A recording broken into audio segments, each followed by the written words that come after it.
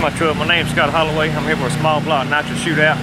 We've already got two grudge races locked in with uh, a team from Arkansas, and I think we're supposed to be running Jolly Rancher. We're gonna try and see what we can do today.